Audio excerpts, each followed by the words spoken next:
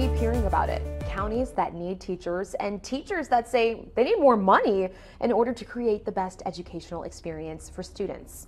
I'm Shari Armstrong, and according to Collier County Public Schools, get this nearly 50% of students in the county are considered economically needy really only reinforcing how important the classroom experience really is. I actually spoke with one teacher who tells me how important the community support is in her classroom and how it's made a big difference.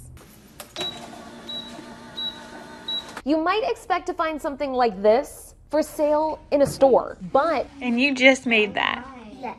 Actually, this student created this journal with the help of her teacher, Miss Isela Quintana at Eden Elementary School in Immokalee. Pretty much, if you show them, they can, and they do. There are many goals here. One, exposing students to all types of careers even teaching them. They can run a business. And business for her kindergarten through fifth grade students is booming.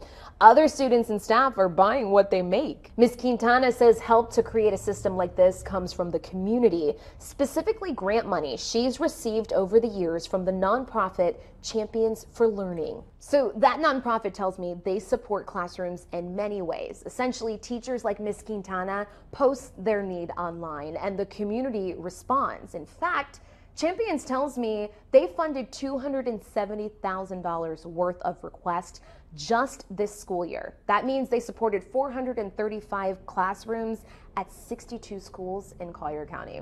With your help.